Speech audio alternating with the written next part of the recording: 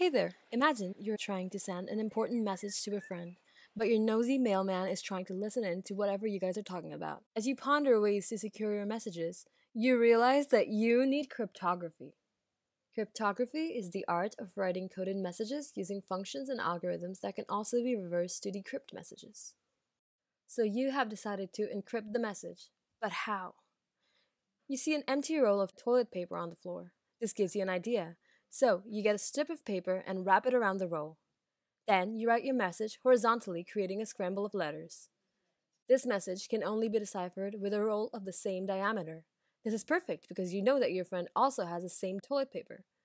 But before you send it, you realize that your mailman, being the master decipher that he is, might also have the same roll and he might be able to decipher the message easily. You need a better cipher. You think, what if you shifted all the alphabet over by a key number? And assigned a unique alphabet to each new one. This is the Caesar cipher. You shift all your letters by 3, so that A is now D, and so on. When you get to X, it wraps back to A, and Y is B, and Z is C. Let's write your message. So for T corresponds with W, H corresponds with K, I is L, and S is V. And then continuing that, you can write the rest of your message. You can also create the Caesar cipher in Python by using the index of each letter in your plain text and adding the shift key to it. You can use mod 26 to make sure that if your key is bigger than 26, it will just loop back around to A, B, C, etc.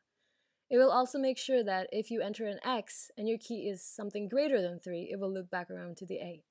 Here, if we test it out, hello world, enter 7, and there's our scrambled ciphertext. You finish writing your message and put it in the mail. You will send the key in the next mail so that the mailman cannot decipher your code. But before that, you realize that there are only 25 possible ways to scramble your message.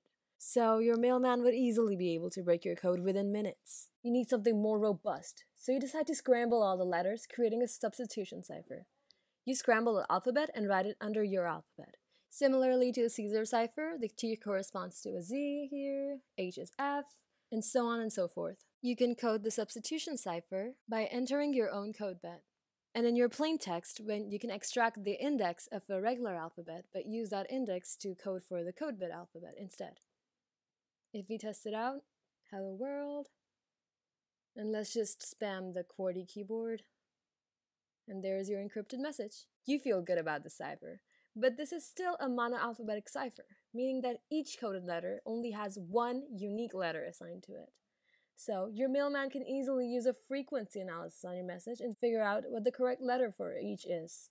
A frequency analysis uses the frequency of popular letters in common speech in English to analyze other code bits. For example, right here, this is the frequency of each letter in the scramble we created right now. We can just use the frequency as it is, but that does not make much sense.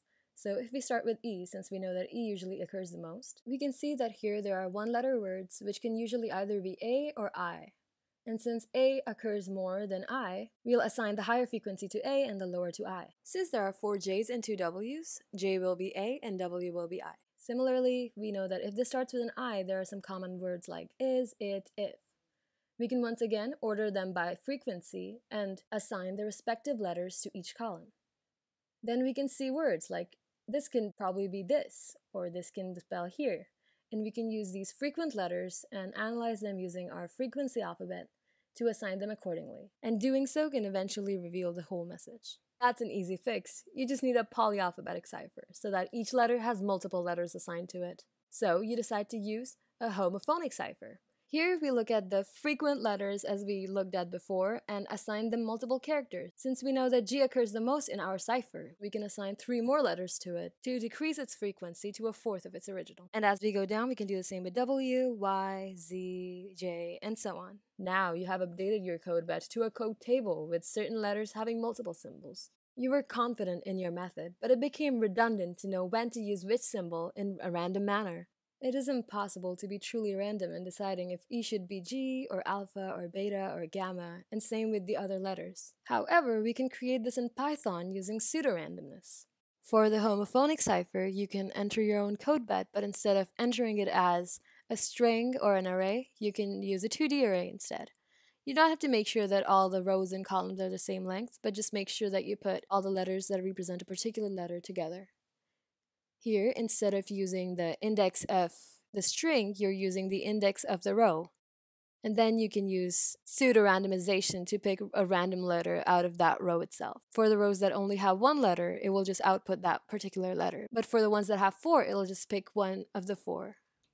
And here is the Hello World example. It actually looks great. And as you can see right here, if you redid this, it will generate a different cipher for you, which is also great. So this way people won't be able to tell if you have a word repeating or not. But however, you wanted something more predictable and easier to code, of course. You thought, what if instead you used a Caesar cipher, but each letter in the message had a unique shift? By using a different shift for each letter, you created a one time pad.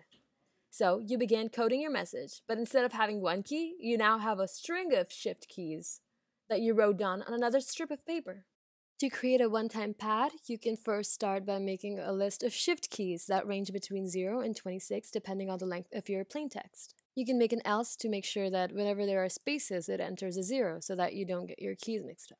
Then you can use a Caesar cipher and just add the shift. You can use for i in range to iterate through the plain text and the shift list. And you can just add each and every shift to each and every letter. And since you used zeros, you don't have to worry about skipping any letters for the spaces or any other symbols. And here's your encrypted message and a lot of numbers. As you began scribing your message, you soon noticed the redundancy in this method as well. Ultimately, the key was as long as the message itself, and it took too long to decipher. You realize your friend would not be happy deciphering your code. You wish that there was a way to automate the one time pad using electric signals and a unique configuration on your rotor. Here, the key would be the rotor configuration itself that can be sent over to your friend, who would have an identical machine with yours. You liked the one time pad, but wanted to make the key a bit shorter and easier to communicate. So, what if you use a keyword, whose alphabet index would be the shift key itself? So instead of having a string of numbers, you can just have a set of numbers that keep repeating themselves. This is the Vigenère cipher. Here is a Vigenère grid. What it does is basically lays out the alphabets and shifts them by the key of the index of each of the alphabets. Let's say our code word is my bird's name, Rigel. We have to align the letters to the word that we want to code, right under T H I S R I G E. Then we find the corresponding columns, and the intersecting letter is what we replace it by. And we can do the same for the rest of the message. The grid can be a lot to navigate through sometimes, so there's an easier way to do this as well. We use the alphabet's indices. So if we write all the indices of our original word, 19 and so on, and our keyword, 17 and so on, then we sum up both the values, and then we write the letter that occurs at that index. If it's bigger than 26, we can simply subtract 26 as many times to get a number that's on our grid. And as you can see, it creates the same exact cipher as using the grid. Keeping that in mind, you can code the Vigenère cipher by taking the indices of your plain text and your code word, iterating it using a mod function and adding them up, and using that index to find the corresponding letter. Hello world, and as you can see right here, it just looks like the Caesar substitution cipher, which is another great thing because if a person just found your cipher, they won't really be able to tell, and it's frequency test proof. This way, you could also include the grid in your message without anyone being able to figure out your keyword. You were finally feeling confident about your cipher, so you finished your message and gave it to your mailman. Proudly, you walk back to your room and you look outside your window. The mailman is still there, but he's doing something now. He is using the Kasiski examination. Here, you take the ciphertext, you look for reoccurring patterns of 3 to 4 characters, and you find the space between each, like we've written out right here. KPOW occurs at a distance of 55, then 110, and so on and so forth.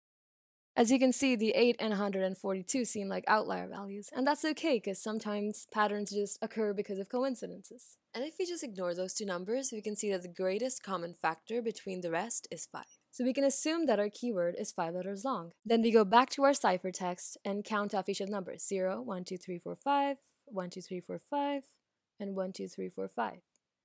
Here, let's color code all the different numbers and extract them from the message.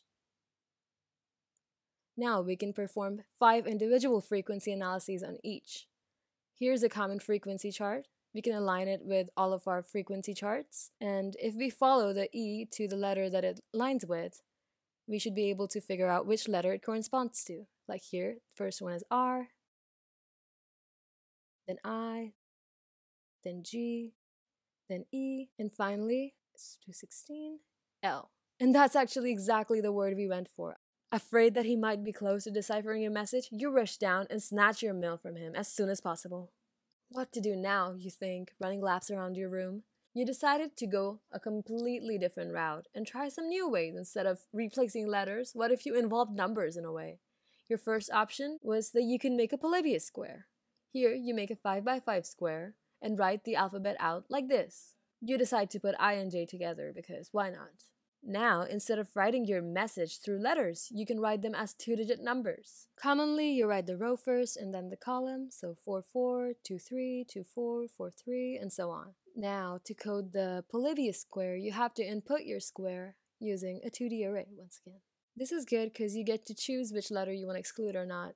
You can also include two variables, excluded letter in its place, so that if it occurs in your message, it'll know what to enter it with. Here you can just search for which row contains the letter you're looking for, and when it finds the row, it will see which index the letter occurs at, and then it'll add both of them in one number and send it across. We included the elif to make sure that the excluded letter is accounted for, and else, like always, to make sure we can use spaces and punctuation. And let's test it out. Hello world. And I love this one. Just a bunch of numbers that have no meaning to the untrained eye. You can also shape your Polybius square however you want. You can exclude Z instead of I and J, or you can just scramble the letters and send it as another grid of itself. Another thing you could have made was a columnar transposition. Here, let's say you use the same five letter key. You can make a column and write out your message under it, wrapping your message around until you run out of letters. Then fill the empty spaces with X's. Now, scramble your key alphabetically along with the columns. Now you write down the letters, top to bottom, left to right. And here is how we can code the columnar transposition in Python. Unfortunately, this method does not include the spaces or punctuations, so first we extract all our alphabets from our plain text. Then we create our 2D array using the length of the keyword. In the for loop, we can sort the letters out into the rows of our list depending on their index value. Then we can make sure that if any rows have less numbers, they get filled with X's. And here we find the index of each letter in the keyword for the letter as it occurs in the sorted keyword. This will tell us how to scramble our rows in our final result. If we use the same word amber, it will give us 0, 2, 3, 1, 4. And then the for loop will follow the pattern of the numbers to add the rows accordingly. And here is our final message. Once again, a jumble of letters that make no sense unless you know what's happening. Besides, you realize that you're not actually in the olden times and you can just code things and make it much easier for yourself, especially like DES, ECC, RSA, AES, and so many more. So you send it via email. Now your Snoopy mailman has no idea what you are talking about as he sits there and waits at your door. Unless, of course, he figures out how to break a hash.